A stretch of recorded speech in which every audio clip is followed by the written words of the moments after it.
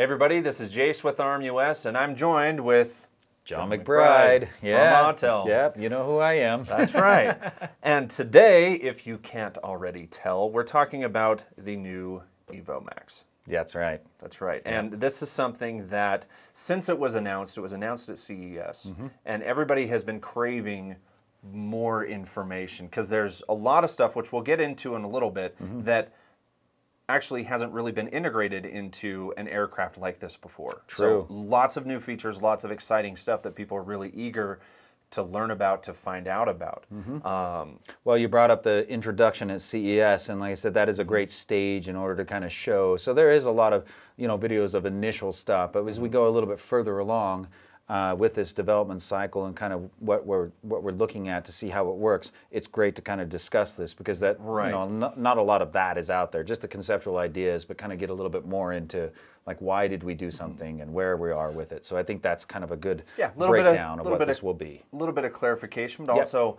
Um, wow, that sounds really cool, but what does that actually that, mean? That's right. So we'll yeah. get into that, but for initially, let's just kind of cover the bases real mm-hmm. fast. So there's the aircraft itself. There has been a lot of questions about its size, mm-hmm. and this, if you're familiar with the Autel line uh, and the Evo 2, the you know V2, V3, mm-hmm. you know this is just marginally larger, a little yep. bit chunkier. we call it, we it, call right? it chunky. Yeah, I think that's an internal thing of like what is it really? You know, it's a little bit chunkier, not so much bigger than you would mm-hmm. expect it to be, but well, you know, not as big as some of the other competition that's out there. It's not quite as large. Right. Um, and so and, and the big thing that is this is still very extremely portable mm-hmm. but we still have the option for the smart remote mm-hmm. right and this carries over some other cues from the um, from the evo line that's like right. for one is that we mentioned today is swappable camera payloads so that's right stuff should be coming into the future and it's very simple couple screws with mm-hmm. the connection. It's not even a ribbon cable anymore. No, it's, it's like just a, that it, much yeah, more being simple that to simple, be able to do You that. know, just a couple screws, and like I said, it's you know the idea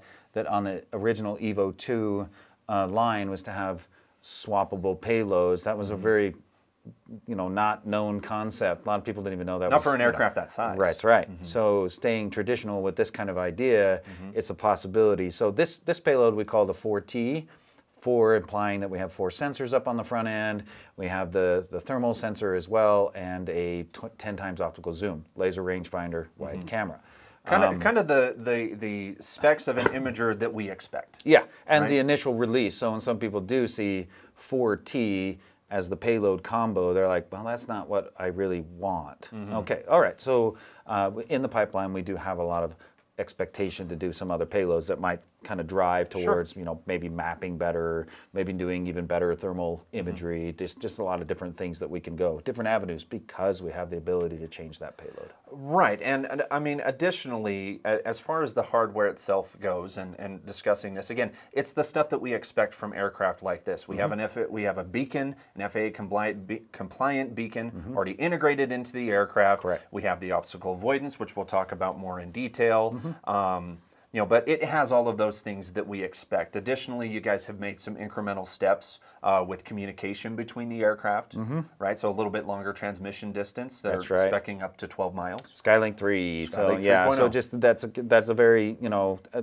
you know as we grow and kind of kind of continue to do, you know, you're increasing that fidelity between mm-hmm. pilot and aircraft. So you know, being able to penetrate and or get to distance, people always think you know how far does it go, but mm-hmm. when you're really trying to get a good communication path even short distances, that's really important for any any type of mission specific. Right, right. And again, know, it's use. it's kind of the, those incremental steps. So with those yeah. bases covered, um, again, it is is one of the things the things that set this apart. And speaking of the obstacle avoidance, let's talk about that just a little more. Mm-hmm. Um, so the the configuration of this is maybe a little bit unique. What people expect. The one thing I noticed when it came out of the box was, oh, there's no sensors on the sides. That's right. But we have this 720 degree obstacle avoidance. And what they mean by that is, is we have this way as well as this yeah, way. So 360 around mm-hmm. the, the front, 360 uh, around, around, the, the side. So yes, you would you would not have to have the typical visual uh, um, cameras that we have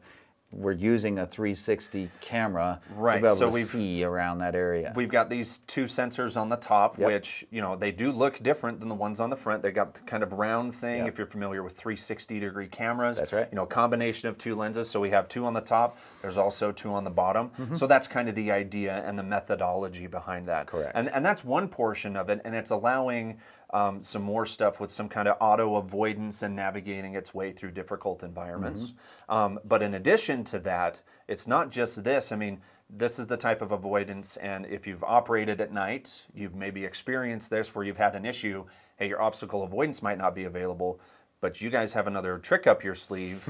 Yeah. that, that's kind of, if you'll pardon the pun, flown under the radar. Yeah. Uh, for this, for obstacle Yeah. avoidance. So talk about so we have the millimeter wave radar. That is a new, I would say, on small UAS concept. Mm-hmm. Um, this driving this and putting this into the into the aircraft does answer the question of can I fly at night with standard optical avoidance? Well, just like normal cameras, just like your eyes, you'll have a difficulty being able to see where it needs to go, and so does the drone. Mm-hmm. Adding this extra sensor in there kind of kind of helps out with a front and rear uh, capability, not on the sides. We're not trying to do anything, but it's really you know designed to kind of assist us in making decisions Sure. in a low light condition environment. Right. Well, and and it's something that to me I have a hard time complaining about because a lot of systems it's just like that's not available. Yeah. And the other thing is, uh, you know, for me, my always caveat is fly assuming that it's not there, but it's great to have that extra security Yeah. Um, in those types of situations. Well, and then you know we, we we also look at you know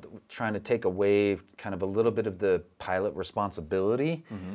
And sometimes we already know that some people have put these into places that we probably shouldn't, and you're hoping the drone will help them protect it from doing Mm-hmm. anything bad. So you you know that's kind of the idea. But as always, we use obstacle avoidance as a secondary system to an already I'm a pilot. I know where I'm flying. We may have some problems if we encounter this, and hopefully the drone can manage that.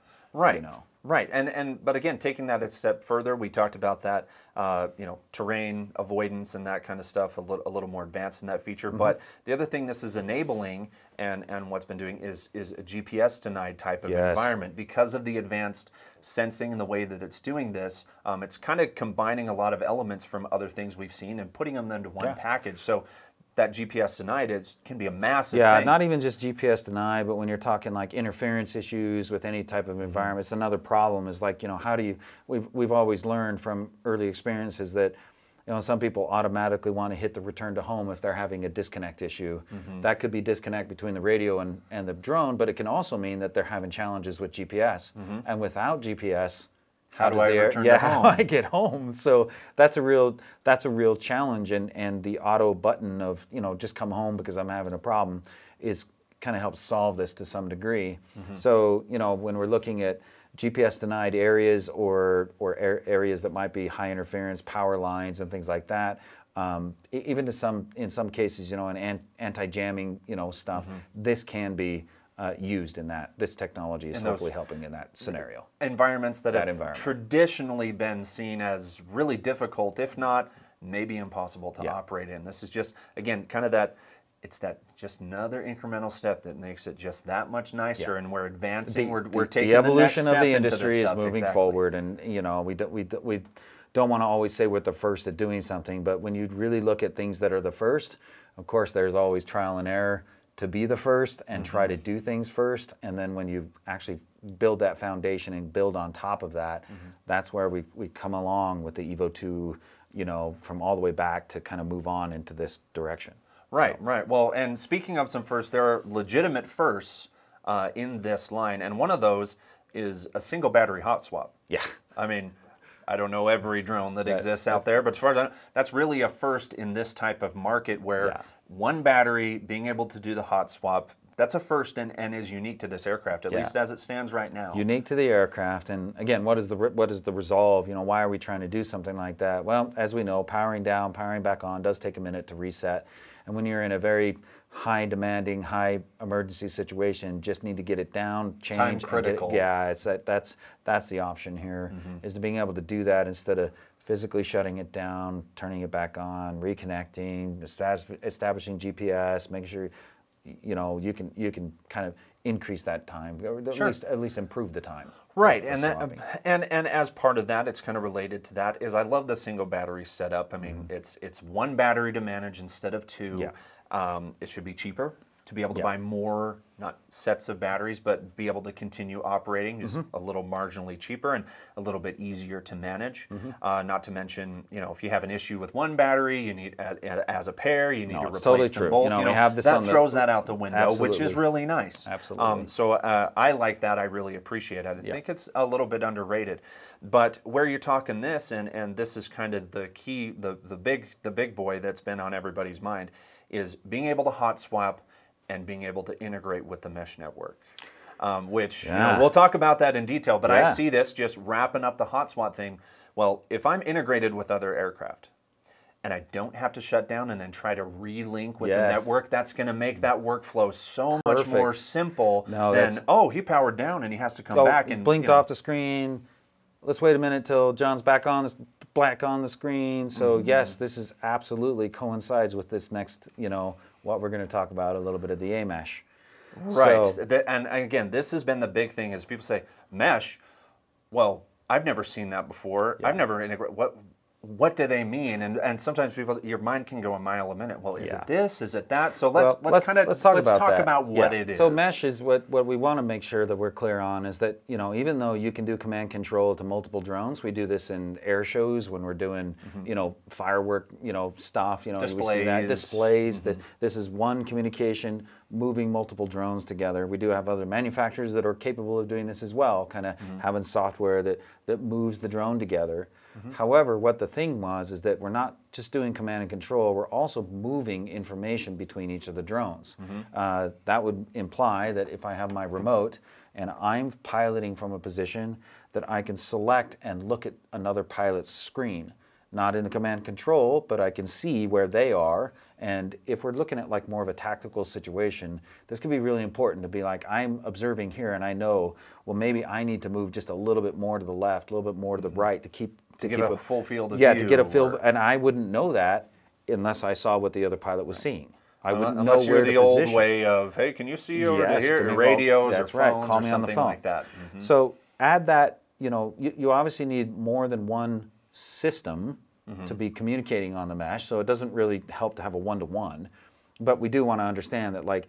If we also need to extend distance and operational distance, that we can have pilots separated out pretty far, Mm, thinking and we can a, a still have- relay style. that's right. Of kind of thing. that general idea is to have multiple communication paths. What is some of the information we're looking for outside of video? We're looking for telemetry data. We're looking for Well, um, I- being able to communicate with each other, like you said, phone call, or maybe texting each other of like, this is where I'm at. This is this is the the guy that fell down the mountain. This is where he is. Pinpoint. Yeah, Everybody you drop the pins. that. so, so know. you see, I mean, again, you don't have to go that far to say, okay, we've got three or four aircraft in an area, and we're searching for somebody, and I'm going to drop a pin. Where are you at? I'm going to drop this pin. Oh, hey, look at this yeah, site. We everybody can all converge Yeah, on this IC, site. That's uh, where the, uh, it should be. Mm-hmm. You know, the incident control guy can, you know, the, the command center can see that, Mm-hmm. um, and being able to do this while not being connected on To a network. to a network. is, Right. we're localized. We're able to communicate with the drones. We're able to do all that. So when you're looking at like, you know, tornadoes, when you're looking at knocking down infrastructure that's very difficult to try to communicate, now we have a very localized communication path that doesn't require, you know, having to send out on the internet and send it back to a, a command or something like that. I'm going to put it this way: a proprietary system that is already integrated into the That system. It's not a third party. That's right. It's not reliant on internet in any way. That's this right. is all integrated, and in short, this allows multiple operators a more effective way of communicating with each other during a complex operation. Yeah. Um, and we're, we're can take that and run with integrate it. Integrate more. You know, when you look at the ecosystem to do this, you know, we're just talking right now. We're we're specifically talking about this remote, that drone, but when we're talking about smaller devices that we also talked about at CES, um, you know, devices connecting to that. Dragonfish may be connecting to that. There's a lot of connections that need to happen, and. I think we're you scratching know, the surface of what this type of tech is Yes. going to bring to these types Yeah. of operations. Yeah. But even as it stands right now, it's really cool. Like I don't know how else to put Yeah, it. So, so even really as a cool standalone unit, you know, when you're talking about it being a standalone unit where I just have my drone, uh, you know, I just have my remote. You know, we do have the the standard smart controller, which everybody's very comfortable with. That's been out there on the on the releases. We do have an enterprise app that will be slightly different than the Explorer app or the Voyager It's app. got some more advanced a little bit more advanced. so you'd they're kind of specific to this, as well as is operating under the mesh communication. Mm-hmm. So a lot, lot of great advances here that we're Sure. you know wanting to introduce to the market. Um, you know, expected to to you know kind of kind of the, the flow of this of, of creating engineering and making like i said is all a lot of news Mm-hmm. and uh, the new is uh, is for us to take our time to make sure it's right so i don't want to rush anything out there and get it out there and then all of a sudden have you know a half baked product we want to be able to and then we're always able to build on top of that so you know that's the, I, the general I idea. fully expect. I mean, it's not like the buck is going to. St- it's not going to stop here. We fully expect to see more out of this. But I mean, really, those are the kind of the highlights of that, the big points. And again, I think I hope that we've kind of covered those those big lingering questions that Mm-hmm. people have. Like, well, what what the heck does that actually mean? How does that actually work? Oh, also So- remote ID compliant. Uh, don't yes, forget for don't forget everybody to know that we will be that.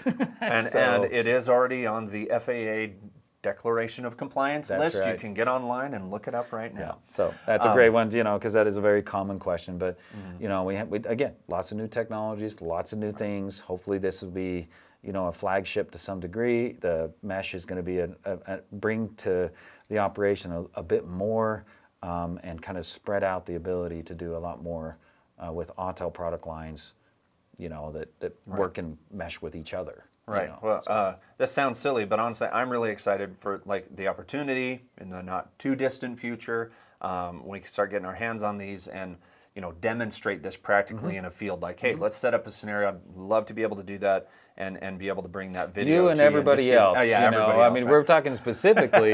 a lot of the end users seeing Right. all of this. They're ready. They're they're excited to see technology like this coming. So for Yeah. for all your current customers and everyone else that would you know be excited for that, obviously, I'm excited to show you a little bit Sure. of that as well. And and, and this, um, I mean, it's generating a lot of very positive Mm-hmm.